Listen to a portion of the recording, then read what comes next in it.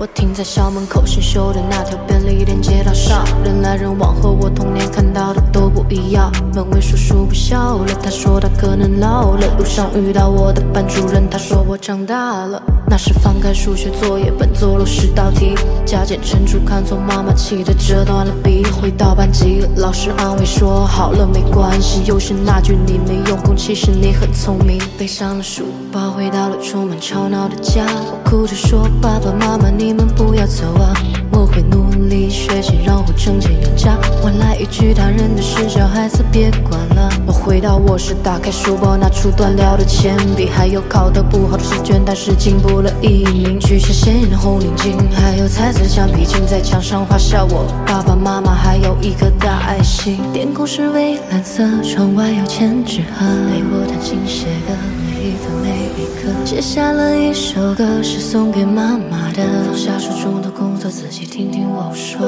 那年的海风吹着沙滩上的你我。我说童年的故事是我唱给你的。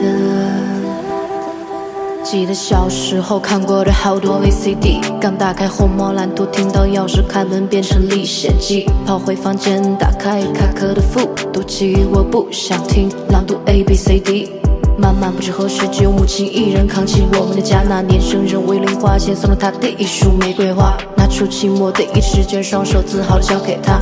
他低头，我看到了那一丝白发。妈妈说：“宝贝，我没给你个完美的家。”我告诉她：“有你在我就是最幸福的啊。”十八岁生日，你送给我第一把吉他，学会的第一首歌，我弹你唱滴答滴答。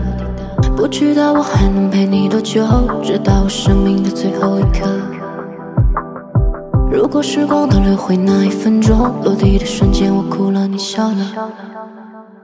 牙牙学语的时候，我俩不一回头。